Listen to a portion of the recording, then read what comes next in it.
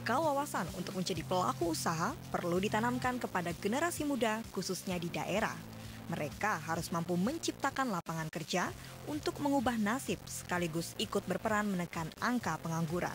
Kiat sukses menjadi pelaku usaha disampaikan Chairman and CEO MNC Group Hari Tanu Sudibyo kepada para mahasiswa Sekolah Tinggi Agama Kristen Protestan di Kota Ambon, Maluku, Rabu siang. HT menekankan modal uang bukanlah kunci satu-satunya untuk mulai membuka usaha.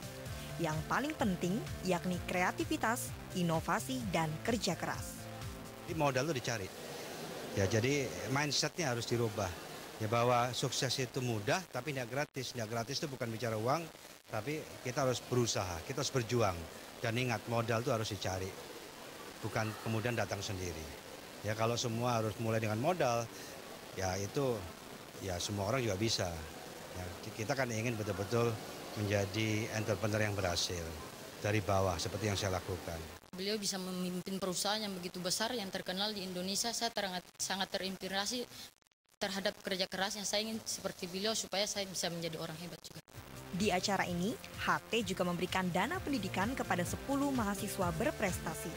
Harapannya, mereka kian giat belajar dan termotivasi menuntut ilmu demi masa depan.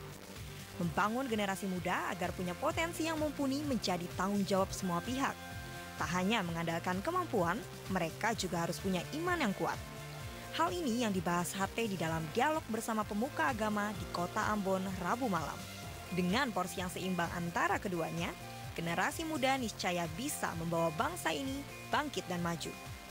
Dari kota Ambon, Maluku, tim liputan MNC Media melaporkan.